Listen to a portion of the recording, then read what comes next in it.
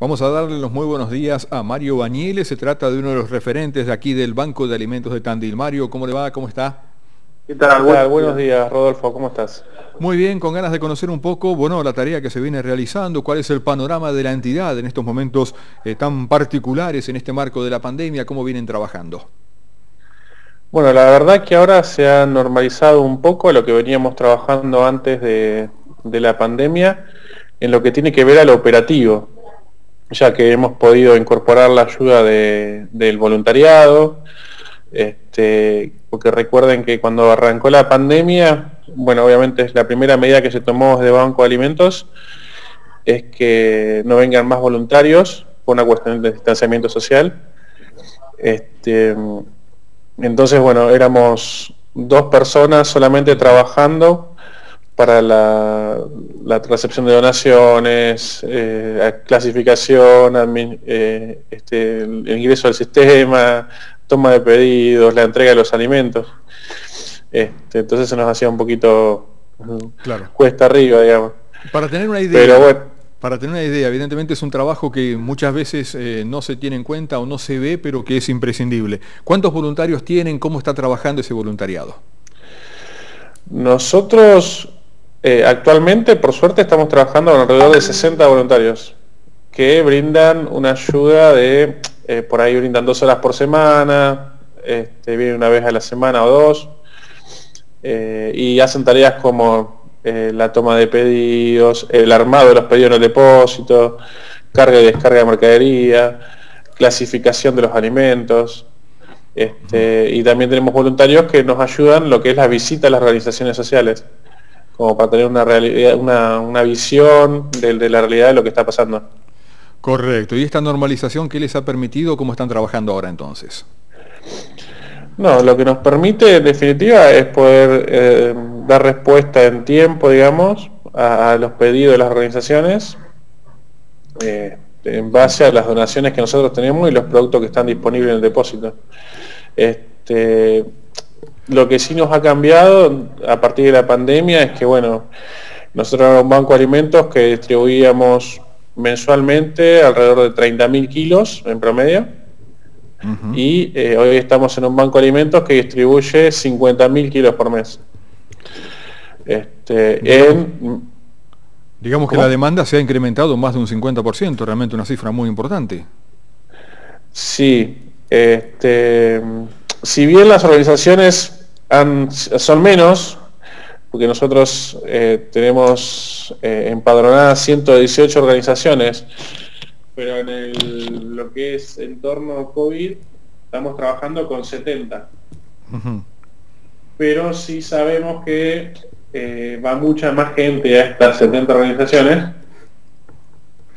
y hay organizaciones que, han duplicado o triplicado la cantidad de gente con la que trabajaban. Y esto Sabemos que todavía consecuencia directa seguramente de la pandemia, gente que bueno ha estado varios meses parados por bueno no poder trabajar y esto evidentemente impacta y mucho, ¿no? Claro, esto es seguramente ustedes lo han estado hablando y lo han estado contando. Eh, hay muchas personas que están por acostumbradas, digamos, a trabajar, a tener su ingreso, que hoy se ve reducido y, lamentablemente se tienen que acercar a pedir ayuda a organizaciones porque no pueden brindar el alimento a su familia. Entonces, bueno, se acerca a estas organizaciones a, pedir la ayuda. Correcto, y esto es toda una cadena, una cadena solidaria. ¿Cómo pasan ustedes de poder distribuir 30.000 a distribuir 50.000 kilos, digamos? ¿Cómo va la, la, contracara, digamos, lo que es la donación de la gente? A ver. Sí, eso por suerte también, o sea, esto ha, sensibilizado mucho más a, la gente de Tandil y la zona, lo que nos permite este, poder recibir mayor cantidad de donaciones. En lo que respecta a, la fortaleza de, Tandil y la zona, que tiene que ver mucho más con las donaciones de, productos primarios, como puede ser eh, cereales, trigo, girasol, maíz, este, carne vacuna. Pues recuerden que nosotros tenemos un proceso de una cadena solidaria de, empresas y productores que nos permite contar con la posibilidad de recibir donaciones de, vacas, esos dos frigoríficos, hacer media res, de ahí va otro frigorífico, transforma en carne picada, se congela y eso es lo que se distribuye luego en los, comedores. Bueno, eso por suerte viene muy bien, nos viene acompañando la Cámara Agroindustrial de Tandil y la Mesa Solidaria en la búsqueda de donaciones y, ya hemos juntado más de 80 animales, así que estamos, muy contentos por eso y justamente para poder brindar respuesta a todas estas organizaciones que están dando eh, un apoyo impresionante en cada barrio. Correcto. Bueno, y esto es algo, una de las fortalezas, como usted bien decía, que tiene la ciudad de Tandil, el hecho de la solidaridad en los momentos así complicados, ¿no? Exacto.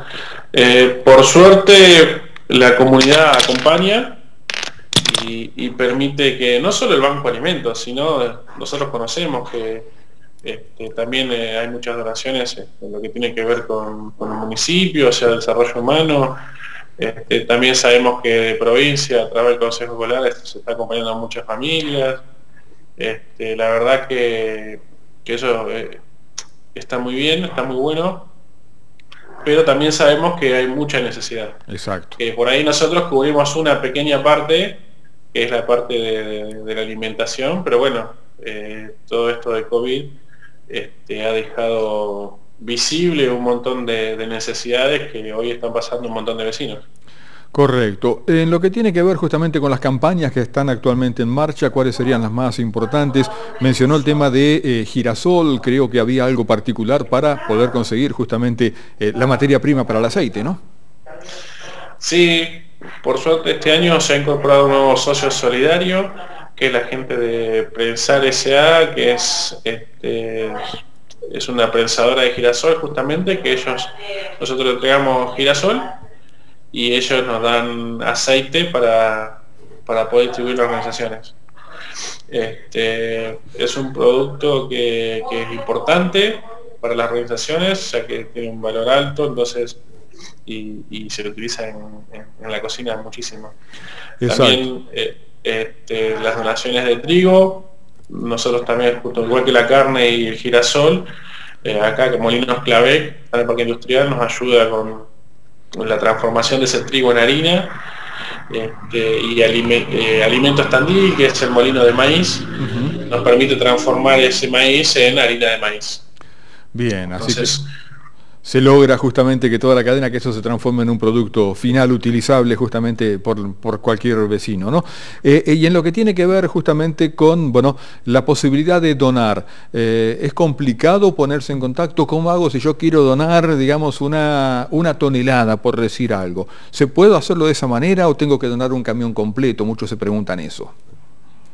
Sí, se puede, puede, puede donar lo que cada uno puede o quiere este, se hace a través de los acopios con los que trabajan. O sea, los acopios son un, eslabón importante dentro de esta cadena porque son los que nos brindan la logística y el conocimiento para la manipulación de este tipo de donaciones.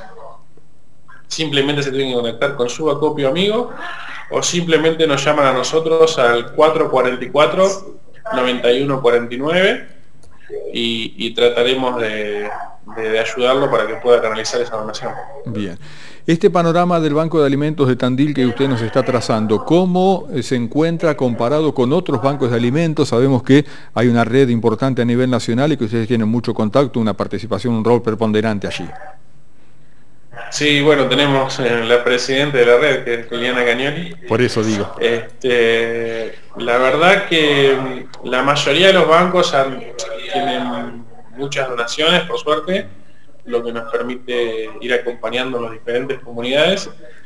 Eh, pero también hay muchos desafíos y muchas necesidades en diferentes lugares del país, sobre todo lo que es este, el AMBA, el Banco de Alimentos que está en Capital Federal, este, no dan abasto, ellos trabajan con más de mil organizaciones, este, distribuyen mensualmente 4 millones de kilos, o sea, es una monstruosidad, pero sabemos que, que a veces no, no alcanza. También sí, sí, sí, es una ayuda importante, pero siempre tenemos el desafío ese de, ampliar el porcentaje de acompañamiento a las organizaciones.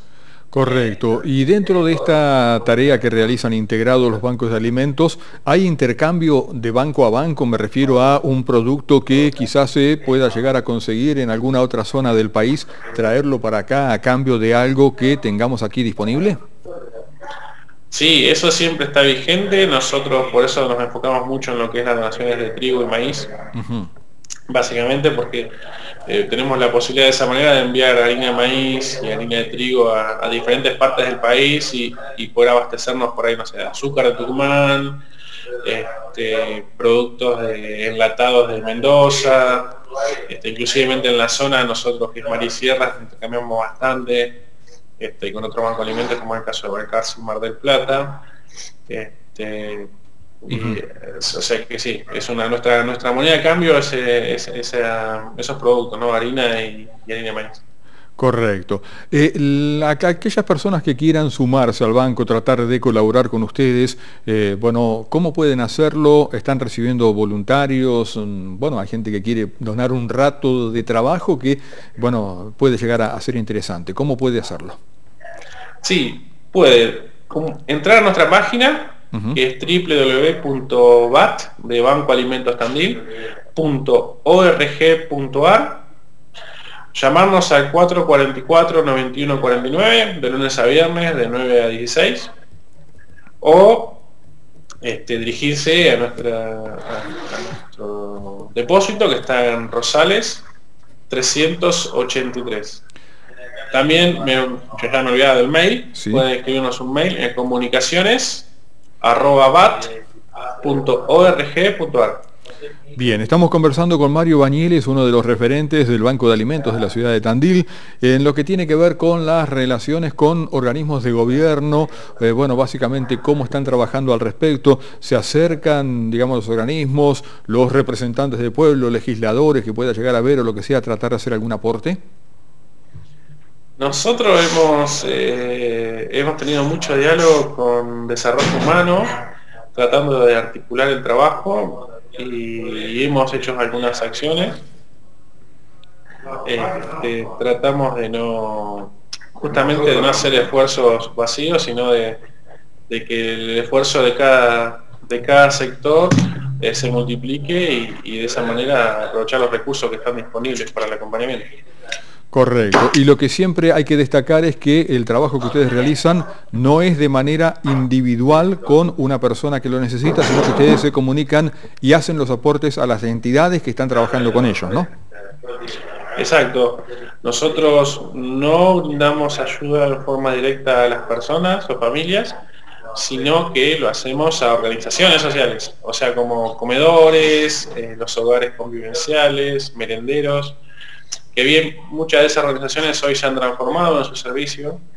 Este, los que inicialmente eran merenderos o comedores hoy se han transformado en organizaciones que entregan bolsones o preparan viandas. Correcto, esto tiene que ver justamente con las medidas del aislamiento para evitar, bueno, eh, reunir demasiada gente, ¿no? Exactamente. Bien, perfecto entonces.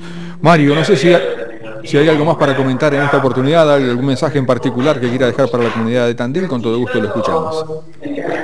No, simplemente eh, estar agradecidos porque el acompañamiento que tienen con el Banco de Alimentos, por la cuota de confianza eh, puesta en la organización, este, sabiendo de que están apoyando no, al Banco de Alimentos en sí, sino a, a más de 70 organizaciones que brindan alimentación a 19.000 personas que son de Tandil y la zona, ¿no? Exactamente, realmente para destacarlo. Eh, reiteramos en el final, el teléfono 444-9149 para ponerse en contacto con el Banco de Alimentos y bueno, de esta manera, bueno, tratar de, dar cada uno el, aporte solidario que pueda realizar porque realmente es muy loable la tarea que vienen realizando, loable y necesaria más todavía en este momento de crisis. Mario Bañiles, muchas gracias, felicitaciones a todo el equipo de trabajo por lo que vienen realizando, gracias por hablar justamente con la radio, con el canal del ECO. ¿eh? Muchas gracias a ustedes por el acompañamiento de siempre. Muy amable. Mario Bañiles entonces, del Banco de Alimentos de Tandil, aquí en Tandil Despierta comentándonos la realidad de esta institución que realmente merece todo el apoyo. Vamos al cierre de este espacio.